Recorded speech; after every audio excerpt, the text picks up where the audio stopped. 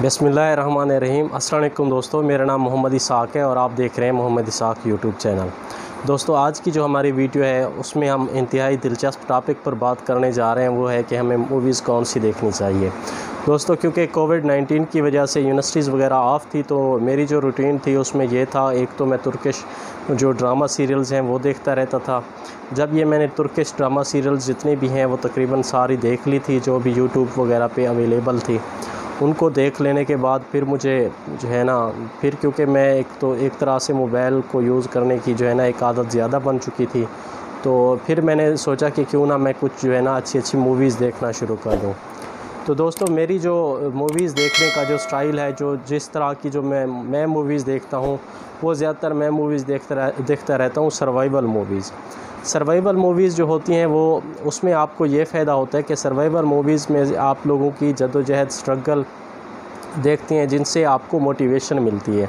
आप देखते हैं कि एक इंसान को ज़िंदा रहने के लिए किस तरह की तगोदो करनी पड़ती है और उसको किस तरह के हालात का सामना करना पड़ सकता है। तो इस तरह की मूवीज़ जो है, आपके अंदर काफ़ी सारी मोटिवेशन लाती हैं और आपको भी काफ़ी काफ़ी जो, काफ़ी अहम अहम जो चीज़ें हैं, वो भी सिखाती हैं। ज़िंदगी में कहीं कभी ऐसा ना हो कि आप भी कहीं कभी किसी मुश्किल में फंस जाएँ तो आप इन मूवीज़ को देखकर आप इनसे हिम्मत जो है ना, वो जुटला सकते हैं और आप अपनी हिम्मत को बना सकते हैं और आप देख सकते हैं कि कैसे लोग मुश्किल हालात में भी ज़िंदा रहने की तगो करते हुए जो है ना, वो बच गए थे। तो आप लोगों को आज चंद मूवीज़ हैं जो बहुत ही जो है ना, अहम मूवीज़ हैं और I I M D B जो उनकी रेटिंग्स है, जो एक इदारा है, जो फ़िल्म वगैरह की जो है वो रेटिंग वगैरह निकालता है। तो उनकी I I D I M D B जो रेटिंग है वो भी बहुत अच्छी है और वो मूवीज़ जो है वो काफ़ी सारी फ़ेमस मूवीज़ हैं, मशहूर मूवीज़ हैं। और इन मूवीज़ को मैं आज आप तमाम लोगों को रिकमेंड करता हूँ कि आप आजकल जो छुट्टियाँ हैं इन इन मूवीज़ को लाजमी देखें। कम अज़ कम जो है ना, आप, अगर आप डेली बेसिस पे मूवीज़ देखते हैं तो एक एक करके देख लें। और अगर आप वीकली बेसिस पे एक मूवी देखते हैं तो इन इन मूवीज़ में से आप जो मैं मूवीज़ के नाम बताने जा रहा हूँ, इन मूवीज़ को आप लोग लाजमी देखें। उम्मीद काफ़ी आपको ये जो मैं मूवीज़ रिकमेंड करने जा रहा हूँ, ये काफ़ी सारी पसंद आएँगी। तो दोस्तों, जो जो पहले नंबर पे मूवी का नाम है, वो है वन ट्वेंटी सेवन आवर्स आप दोस्तों को मैं ये मूवी रिकमेंड करूँगा कि आप one twenty seven hour movies देखें।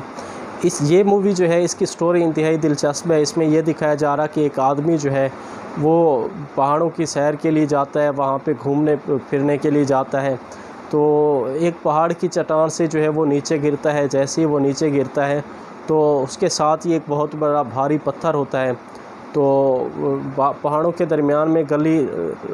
की तरह की जो है ना, वो जगह बनी होती है। तो वही दरमियान में आके लटक जाता है तो उसके ऊपर जो है ना, उसके बाजू के ऊपर आके एक पहाड़ जो है वो भी ऊपर गिर जाता है, जिसमें उसका बाजू जो है वो फट जाता है। तो ये बंदा जो है ना, एक सौ सताईस घंटे तकरीबन जो है वो राउंड अबाउट बनते हैं। एक सौ सताईस घंटे पूरे जो है ना, ये अपने बाजू को छुड़वाने की कोशिश करता रहता है और स्ट्रगल करता रहता है और ज़िंदा रहने की कोशिश करता रहता है और काफ़ी सारी स्ट्रगल करने के बाद जो है ना ये मूवी इंतहाई दिलचस्प हो जाती है और आप लोगों को जो है ना ये काफ़ी सारे जो है ना मूवीज़ आप लोग जब ये मूवीज़ वॉच करना शुरू करेंगे तो आप लोग जो है ना एक मिनट भी आप नहीं चाहेंगे कि इस मूवी से आप अपनी नज़र हटा पाएँ। तो इस मूवीज़ में आप, इस मूवी में आपको दिखाया जा रहा है कि किस तरह एक इंसान जो है वो हिम्मत को नहीं हारता, वो जिस तरह भी करता है, अपने आप को बचाने की कोशिश करता है। इस मूवी का एंड क्या होता है अख्ताम क्या होता है दोस्तों, ये मैं आपको नहीं बताता, क्योंकि जब फिर आप मूवी देखेंगे तो आपको मज़ा नहीं आएगा कि आखिर में इस मूवी में होता क्या है। तो दोस्तों, जो दूसरे नंबर की जो है मूवी है, वो मूवी है द सन बिटवीन अस तो ये मूवी भी इंतहाई दिलचस्प है, इसमें एक डॉक्टर होता है और एक जो है वो सहाफ़ी ख़ातून होती है। ये दोनों जो है ना अपनी फ़्लैट से किसी सिटी जा रहे होते हैं तो इनको, उस दिन जो है वो मौसम ख़राब होने की वजह से इनकी फ़्लैट जो है वो कैंसिल हो जाती है। तब ये लोग डॉक्टर जो होता है वो कहते हैं कि मैंने किसी बच्चे का ऑपरेट करना है और वो जो लड़की होती है, जो साफ़ी लड़की होती है, उसकी जो है ना कल को, कल जो है ना उसकी शादी होती है तो उसने अपनी शादी पे पहुँचना होता है, इसलिए उसको भी जो है ना वहाँ पे जाना लाजमी होता है। तो फिर वो जो लड़की है वो डॉक्टर से कहती है कि मेरे पास एक आइडिया है। वो जाते हैं प्राइवेट जो है वो एरोप्लेन करते हैं वो उस आदमी के साथ जाते हैं तो उस, तो उसको प्लेन जो है ना वो हैर कर लेते हैं। और बाई चांस जो है वो जो प्लेन प्लेन वाला होता है एरोप्लेन वाला होता है तो जब वो प्लेन उड़ा रहा होता है तो मौसम भी ख़राब होता है तो उसको जो है ना उसमें अटैक जो है ना वो शुरू हो जाता है। उसका दिल उसको दिल का दौरा पड़ना शुरू हो जाता है। तो इस वजह से जो एरोप्लेन होता है वो नाकाबू हो जाता है और वो जो है ना एक जो है ना बर्फ़ानी पहाड़ के ऊपर जाके वहाँ पे क्रैश कर जाता है और ये लोग वहाँ पे जो है ना वो कुछ दिन वहाँ पे क़याम करते हैं। फिर ये जो है वो पहाड़ों में घूमते रहते हैं तो ये अपने आप को स्ट्रगल करते हैं अब ज़िंदा रहने की कोशिश करते रहते हैं। तो इस मूवीज़ का जो है वो सैनमाटो सैनमाटोग्राफ़ी जो है वो भी काफ़ी अहम है, इसके सीन्स भी काफ़ी दिलचस्प हैं और इसमें भी आपको दिखाया जा रहा है कि कैसे दो लोग ज़िंदा रहने की स्ट्रगल करने के लिए क्या तगोदो करते रहते हैं और किस तरह के मुश्किल हालात का इनको सामना करना पड़ता है और किस तरह ये अपने आप को ज़िंदा रखते हैं। तो दोस्तों, तीसरे नंबर पे जो मूवी है, उसका नाम है द रेवनेंट दोस्तों, ये भी मूवी काफ़ी सारी अहम मूवी है। इसमें भी जो है ना, आपको काफ़ी सारे अहम सीन्स देखने को मिलेंगे और इसमें भी आपको स्ट्रगल जो है ना, वो दिखाई देगी। तो इस मूवी के जो है ना, वो काफ़ी सारे मनाजिर ऐसे हैं, जो आपको काफ़ी सारी जो है ना, वो सस्पेंस भी पैदा कर देते हैं। इसमें एक जो है ना, आदमी होता है, उसके बेटे को जो है ना, एक आदमी मार देता है। और इसकी बीवी भी पहले मर चुकी होती है। आपस में जो लोग हैं, मुख्तलिफ़ कबाइल के, वो आपस में लड़ते रहते हैं और इसमें आपको दिखाया जाता है कि किस तरह से जो है ना ये आदमी अपने आप को बचाता है और अपने बेटे का बदला लेने के लिए ये किस तरह की तगोदो करता रहता है। तो दोस्तों, जो रेवनेंट मूवी है, ये भी काफ़ी सारी अहम मूवी है और ये भी सर्वाइवल मूवीज़ में टॉप ऑफ़ द लिस्ट आती है। और मेरी आप लोगों से गुजारिश है कि आप लोग द रेवनेंट मूवी भी लाजमी देखें अगर आप सर्वाइवल मूवीज़ देखना चाह रहे होते हैं। तो दोस्तों, जो चौथे नंबर पर मूवी है, वो बहुत ही ज़्यादा अहम मूवी है। इस मूवी को देखने के बाद आप लोग देखेंगे कि किस तरह जो है ना सर्वाइवल मूवीज़ जो होती हैं, किस तरह आपको जो है ना, आपको ज़िंदा रहने की तगोदो करने के लिए आपको सिखाती हैं कि आप लोग भी अगर आप हिम्मत ना हारें, अगर आप लोग भी जद्दोजहद करें तो आप लोग भी जो है ना, कामयाब हो सकते हैं। तो इसमें यह दिखाया जा रहा है कि इस मूवी में ये दिखाया जा रहा है कि कुछ कैदी होते हैं जो जिनको एक, जिनको जो है ना वो 20 साल की कैद जो है ना वो मिलती है तो ये कैदी जो है अपने आप को बचाने के लिए प्लान करते हैं कि ये जेल से भाग जाएँ। तो इस मूवी का नाम है द वे बैक तो इस मूवी में आपको दिखाया जा रहा है कि किस तरह चार हज़ार मील जो है लोग, ये जो कैदी होते हैं, ये चल कर जो है ये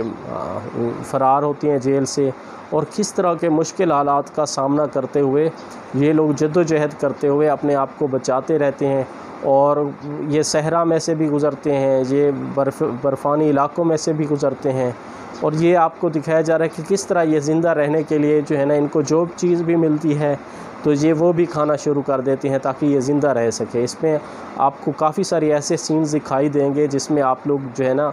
महसूस करेंगे कि कैसे अगर इंसान के पास खाना ना हो तो वो किसी तरह का भी खाना हो, वो ज़िंदा रहने के लिए वो जो है ना, वो खा लेता है और अपने आप को ज़िंदा बचाने के लिए कैम, ज़िंदा रह, रखने के लिए अपने आप को खुराक की इसकी जो ज़रूरत होती है, वो किस तरह अपनी खुराक की ज़रूरत को पूरी कर लेता है। तो इसमें दोस्तों काफ़ी सारे इनके जो दोस्त हैं, जो फ़रार होते हैं,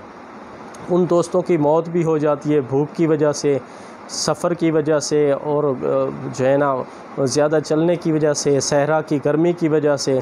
तो इस मूवी में भी आप लोगों का जो इंटरेस्ट है, वो शुरू से लेकर आखिर तक कैम रहेगा। और मेरी आप लोगों से गुजारिश है कि आप लोग ये जो द वे बैक मूवी है, इसको भी लाजमी देखें। उसके बाद दोस्तों, जो चौथे नंबर जो जो पाँचवें नंबर पे जो मूवी है, उस मूवी का नाम है द कास्ट अवे दोस्तों, ये दो, ये जो मूवी है, ये भी जो है ना top of the list movie है। ये भी सर्वाइवल मूवीज़ में से जो है ना,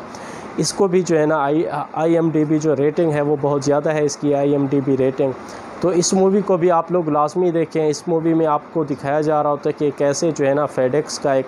जो मैनेजर होता है फेडेक्स का जो एक हेड होता है, वो अपने जो कोरियर जो सर्विसेज़ होती हैं, जो कोरियर जो है वो लेके जा रहा होता है। तो किस तरह इनका एरोप्लेन जो है वो क्रैश हो जाता है और ये क्रैश होने के बाद किस तरह से जो है ना अपने आप को बचाते हुए समंदर में जा गिरता है और वहाँ से एक जो है ना ये काफ़ी दूर दराज जजीरे में जाके